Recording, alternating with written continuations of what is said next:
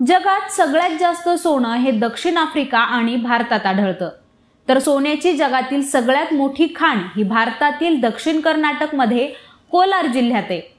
मात्र दोन हजार तीन पासून कोलारमधील ही खाण जरी बंद असली तरी सोन्याच्या उत्पादनात भारत हा जगात दुसऱ्या क्रमांकावर आहे. आता इतर देशांप्रमाणे भारतात सोन्याकडं गुंतवणूक म्हणून कधीच बघितलं जात नाही. त्यामुळे भारतात सोनं हे जास्त प्रमाणात दागिन्यांच्या स्वरूपात साठवलं जातं. दसरा दिवाळी पाडवा यांसारख्या शुभ मुहूर्तावर सोनं हे खरेदी केलं जातं. तर भारतात लग्नसराईमध्ये जास्त प्रमाणात सोनं आणि सोन्याच्या दागिन्यांची खरेदी होते. पण तुम्ही जेव्हा सोन्याचे दागिने खरेदी करता तेव्हा तुम्ही फक्त सोन्याची किंमतच देत नाही तर त्या दागिन्यांचा मेकिंग चार्ज सुद्धा तुम्हाला द्यावा लागतो. आता एवढंच काय तर तुम्हाला जीएसटी सुद्धा भरावा लागतोय. मात्र आता मेकिंग चार्जेस म्हणजे नक्की काय आणि दागिन्यांच्या एकूण किमतीमध्ये हे मेकिंग चार्जेस किती इन्क्लूड आहेत? तर हे मेकिंग चार्जेस नक्की कसे ठरवले जातात हे जाणून घेण्यासाठी हा व्हिडिओ शेवटपर्यंत नक्की पहा.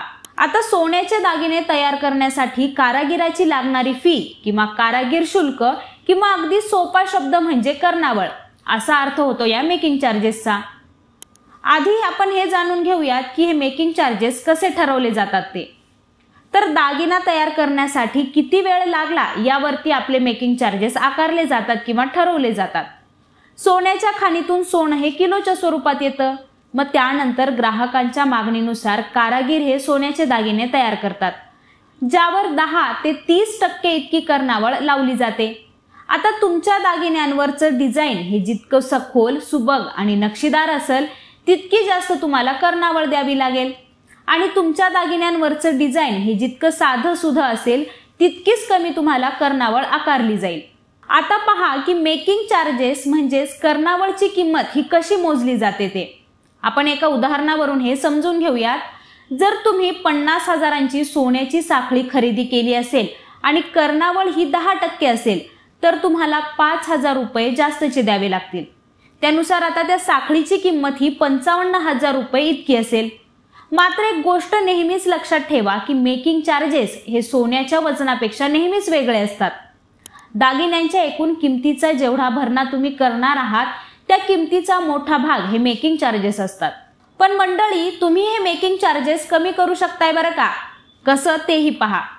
आता तुम्ही जर साध्या डिझाईनचे दागिने खरेदी केले तर तुम्हाला हे मेकिंग चार्जेस भरावेच लागणार नाहीयेत.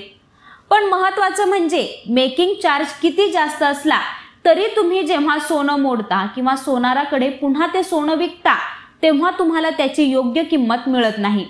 म्हणजेच मोडीत काढलेल्या सोन्यात मेकिंग चार्जेस हे इन्क्लूड नसतात. तुम्हाला ही माहिती कशी वाटली ते आम्हाला कॉमेंट करून नक्की सांगा. यांसारख्या विषयांची माहिती मिळवण्यासाठी लेट्सअप मराठीला यूट्यूब फेसबुक ट्विटर आणि इंस्टाग्रामवरती फॉलो करायला विसरू नका.